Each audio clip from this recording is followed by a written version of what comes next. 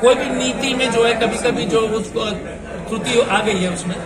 और कांग्रेस पार्टी के वरिष्ठ नेतागण जो सरकार से संपर्क, संपर्क बना करके इसका समाधान कर रहे हैं। अचानक से भाषा विवाद को लाकर नहीं लगता कि झारखंड जैसे राज्य में आपस में विवाद फैलाने की कोशिश की गई है एक क्षेत्रीय पार्टी द्वारा? नहीं भाजपा द्वारा फैला फैली जा रही है। देखिए एक चीज़ नियत हेमंत जी और जेएमएम और कांग्रेस का गठबंधन सरकार का यही था कि जो लोकल बच्चे लोग को नौकरी मिले। अगर ये बात अगर ये बात सही है तो फिर आपके मंत्री क्यों कहते हैं कि ज़रूरत पड़ती इस्तीफा दे देंगे? मंत्री जो बोलते हैं वो रूम के अंदर नहीं सार्वजनिक उन्होंने नहीं सार्वजनिक वो तो शिविर में था सार्वजनिक नहीं होना था। वो अंदर बहुत सारी बातें होती है। सरकार में जो है जैसे मान लीजिए हम अपने कुछ बातें आपसे कॉन्फ्रेंस में कहते हैं। फिर बातचीत होती है हम अपने बात रखते हैं आप उसके जो है उसमें जवाब देते हो तो उसके बाद जो हम एक नतीजा पर पहुँचते हैं। तो मुझे नहीं लगता है कि उसमें ज़्यादा इतनी जो है, क्योंकि सरकार और कांग्रेस और जेएमएम का जो है एक ही राय है कि यहाँ के लोकल बच्चे को मौका मिले। लेकिन हिंदी को वंचित करने से आदिवासी बच्चे को भी नुकसान होगा क्योंकि अधिकांश आदिवासी बच्चे और अनुसूचित जाति बच्चे और मुसलमान बच्चे भी हिंदी में पढ़ रहे हैं। मैंने आंकड़े आपको दे दिया। तो इसलिए जल्द से जल्द इसका समाधान कर लें। लेकिन बीजेपी 18 साल से आपको ठगा है।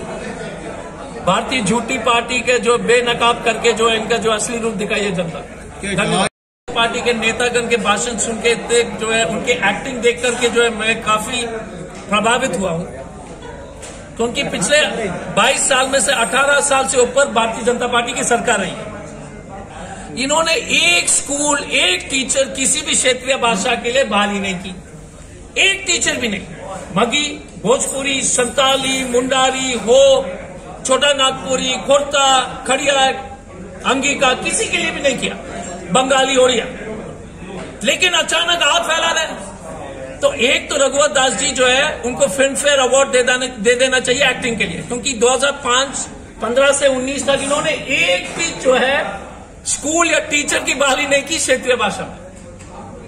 दूसरा विद्युत बरन मातो जी ने जो जमशेदपुर के मैथिल बोलने वाले, अंगिका बोलने, भाषा बोलने वाले, भोजपुरी भाषा बोलने वाले लोग दिल खोल करके वोट दिया भाजपा को। उनके सांसद लिख रहे कि इस भाषा को हटा दिया जाए। तो मैंने कहा, इतना मत दिल खोलिए। कम से कम अपना जो जो कैंडिडेट होता है, पार्टी का, देख लीजिए ना कि कितना बड़ा धोखा कर रहा है। तीसरी बात, जितने भी भाषाएँ, अंगिका हो, भोजपुरी हो, जितने भी हो, उसकी लिपि हिंदी है।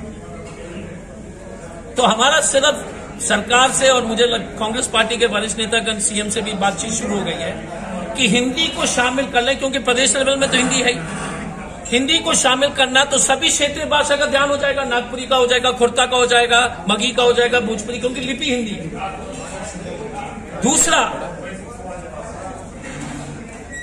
संताली हो आदिवासी, जितने भी क्षेत्रीय भाषा, बंगाली हो रही है संताली हो, मुंडारी खड़िया सबको जो है ना, सबका उत्थान के लिए ये सब क्षेत्रीय भाषा के लिए आप टीचर का बहाली कीजिए। जितने भी क्षेत्रीय भाषा है। भोजपुरी भाषा हो, मैथिल हो संताली भाषा हो हो भाषा हो, और खास तौर से आदिवासी भाषा में। आप लाखों की संख्या में बंगाली और आदिवासी भाषा में, संताली हो, मुंडाली, खड़िया छोटे, जो और ये, में लाखों में संख्या टीचर की बहाली की आवश्यकता है।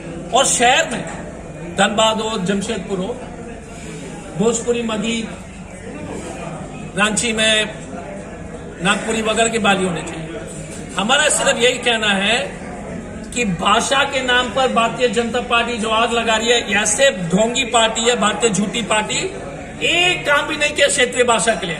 और आज रो रहा है, घड़ियाली आँसू बहने हेमंत सोरेन जी तुरंत क्षेत्रीय ये जो नियम लाए थे उसमें सिर्फ़ हिंदी को शामिल करें तो सब समस्या का समाधान हो जाए। सर ऐसा क्या आधार ठीक है समझ। इसमें नियत हेमंत जी की अच्छी है। स्थानीय लोग को जो है समर्थन देना और मैं अभी भी कहता हूँ पंचायत सेवक हो सिपाही हो स्थानीय लोग को नौकरी मिलनी चाहिए। ठीक है ना? होगा जो मुझे जो आंकड़े याद होगा। हर साल का दस हज़ार लेडी हो सकता है दो तीन लाख हो। मैं अनुमान कर रहा हूँ। बॉस ये पचास साठ लाख से ऊपर ही होगा। नौकरी जो है बीस हज़ार है। स्थानीय नीति और ये स्थानीय नीति किसके लिए है? बीस हज़ार फिगर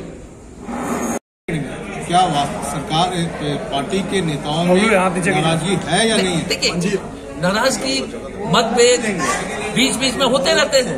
बीजेपी में भी है। बीजेपी का सुनाओ जितने लेता तो ये तो परिवार में होता जब पॉलिटिक्स है परिवार है, आदमी है तो मतभेद होते रहते हैं। मतभेद नहीं है। अच्छा